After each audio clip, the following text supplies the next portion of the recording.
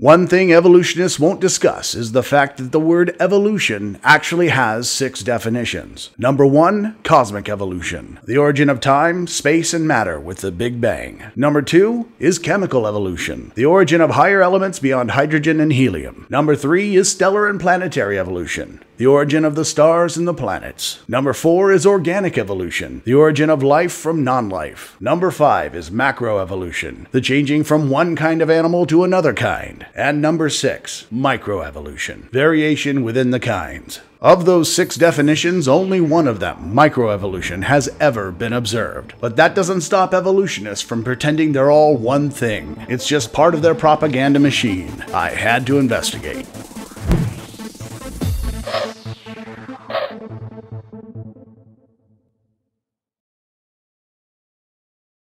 Cutting right to the chase, there is actually only one definition for the word evolution, and that is change over time. Any other definition is simply a context. One of those contexts is a theory that the observed morphological changes in organisms are due to changes in allele frequencies resulting from random mutation and natural selection. This is the theory first proposed by Charles Darwin in his often cited, rarely read work on the origin of species. In the years since the publication of this work, the mechanism of random mutation mutation has been proven to manifest morphological changes which have been artificially selected by human beings. The theoretical part is that in nature, the propensity of some mutations to improve the overall fitness of an individual also gives it a reproductive advantage in whatever ecological niche it may occupy. This will probably never be proven, but we can make predictions based upon this assumption. The idea that all life on Earth is somehow related, albeit distantly, is known as the theory of common descent. In the modern synthesis of the theory of evolution, it is the previous mechanisms of random mutation and natural selection which have manifested these increasing chasms between species. This leads us to taxonomy.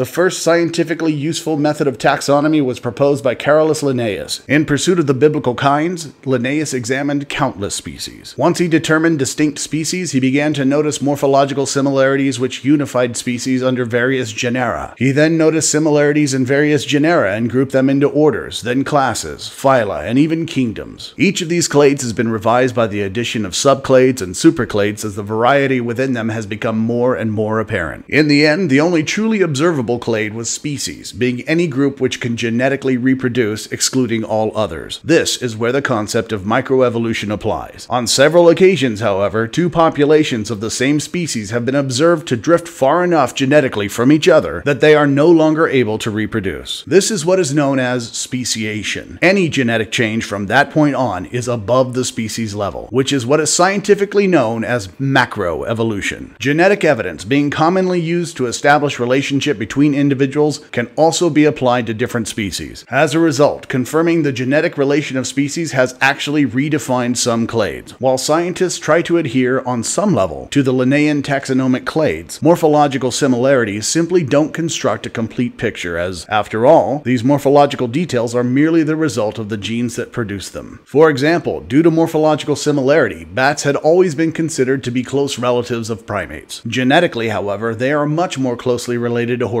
For reasons like this, the Linnaean classification system is known to be incomplete, yet it is still used, albeit in a modified fashion better representing the genetic rather than morphological evidence. Strangely, this really required few modifications. Assuming the theory of common descent, we can use the modified taxonomic system to predict where we should expect to find specific fossils. For example, Edward B. Daeschler of the Academy of Natural Sciences, Neil H. Shubin from the University of Chicago, and Harvard University professor Farish A. Jenkins Jr. were able to predict ahead of time where they should expect to find a fossil of a creature which appeared to have wrist bones similar to tetrapods and yet rays similar to ray finned fishes with spiracles in the head, which would be indicative of a lung system, in addition to a pectoral girdle separating the head from the body with a neck. They predicted that this morphological combination of tetrapod and fish like traits would be found in Devonian strata on Ellesmere Island, Nunavut, in northern Canada, and after five years of excavation, found no less than three individuals matching those exact traits. These individuals were named Tiktaalik. Now, maybe the theory of common descent is wrong, but if it is,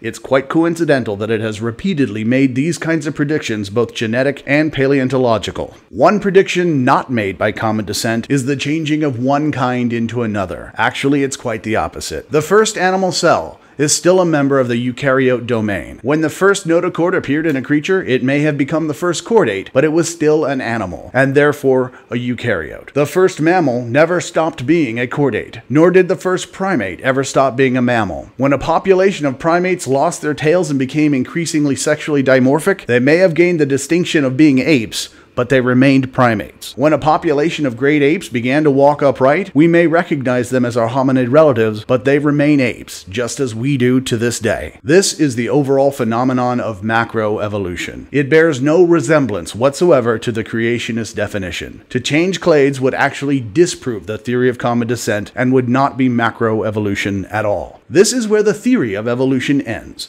It has nothing to do with the origin of life and makes no predictions about it. It doesn't even predict whether life formed before or after evolution began. In fact, every other application of evolution in the creationist argument is simply the assertion that things change over time. And, in fact, they do. The idea that non living chemicals over time amalgamated into polymers which could reproduce, metabolize outside chemicals, and react to stimuli while developing some system of inheritance is called abiogenesis. It certainly qualifies as some sort of organic evolution, but the terms are far from synonymous. You'll note that abiogenesis is a hypothesis, not a theory. But like any other hypothesis, it makes a prediction. This prediction is that the constituent characteristics of life can appear naturally. As shown in episode 11, this this prediction is confirmed by experiment as well as observation. When Louis Pasteur conducted his experiments, he was not addressing abiogenesis. He was refuting the idea of spontaneous generation of fully formed life. In the centuries since, scientists have observed that there is no distinct line between living and non-living material. There appears to be a gradient. There are even polymers for which scientists and even creationists are unable to decide whether or not they constitute life. For example, viruses and prions, both of which have some, but not all of the characteristics which define life as we know it, including evolving alleles.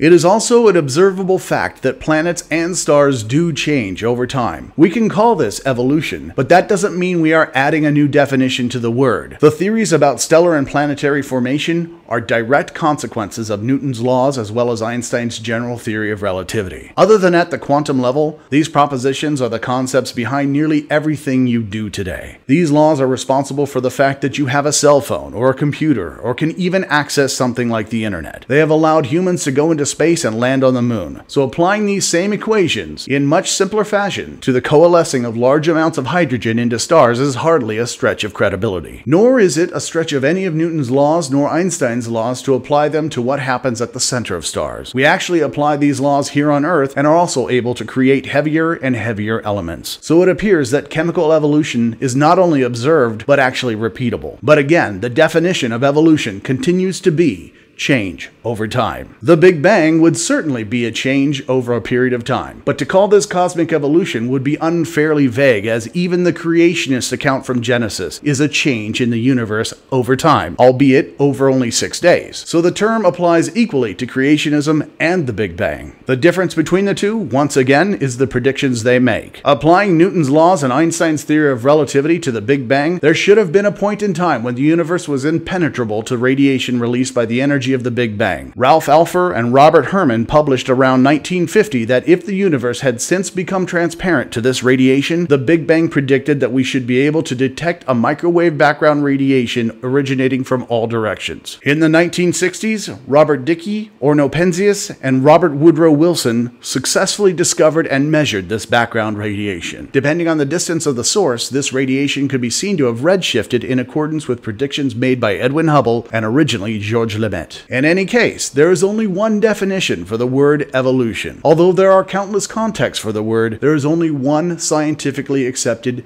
theory of evolution. Anytime the word is co opted into a creationist argument in a context that is not a consequence of changing alleles, it is dishonestly conflating two separate ideas. As I said at the start of this series, I'm appropriating the word evolutionism to mean the scientific consensus. In doing so, I am both making up a word and misapplying it for the sake of being able to meet creationists on their own terms. Hopefully, common terminology will allow them to see how creationism taught me real science. Learn more about the real science behind other creationist arguments by watching other episodes. If there's a creationist argument you think I should investigate, please comment below it may be the subject of a later video. In the meantime, subscribe and make sure you don't miss it.